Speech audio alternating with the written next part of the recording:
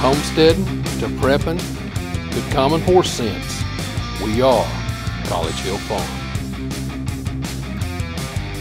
Welcome back to College Hill Farm. Well, today we are taking care of peppers.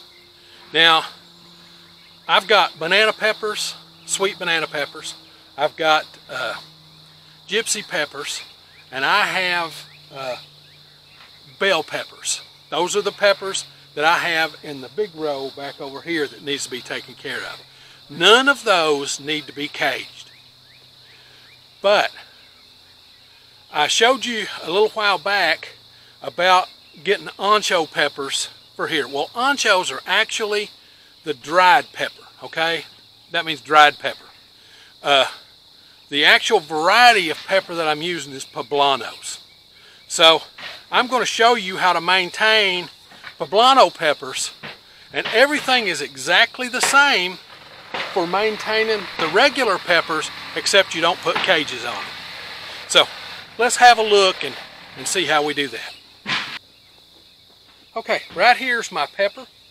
So what I'm going to do is I'm going to come through here I'm to cut down all these old nasty weeds. Get them all. I'm going to leave this pumpkin right here.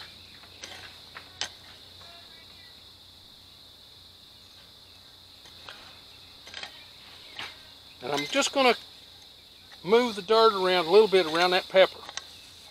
Now, once that's accomplished, these peppers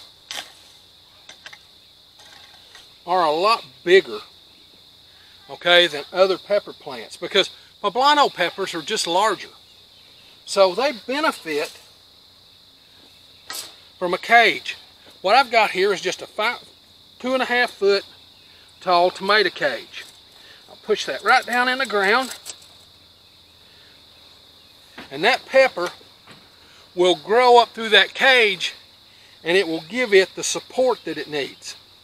Now I've only got four poblano peppers, but all of them are done the same way and all of the peppers are tended the same way.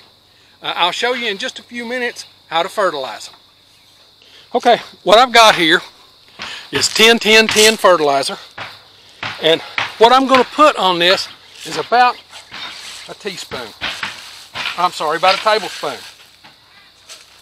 Okay, there it is. We'll put some on this uh, pumpkin here too. If you get any on the leaves, kind of just dust the leaves off. Now, when I did this, the reason I kept that pumpkin is because we lost our pumpkin seed this year, so I've got pumpkin seed sitting right there if it'll grow. So I'm going to leave that. That's a volunteer that's come back from last year. So I'll get down through here and put it on the rest of these.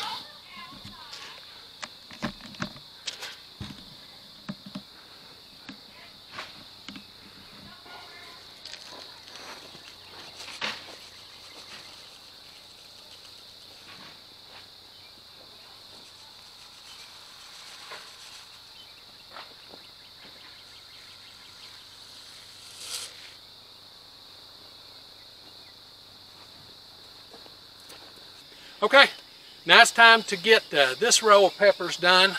I have uh, 100 foot of peppers. Uh, there's bell peppers, there's uh, sweet bananas, and gypsies in there.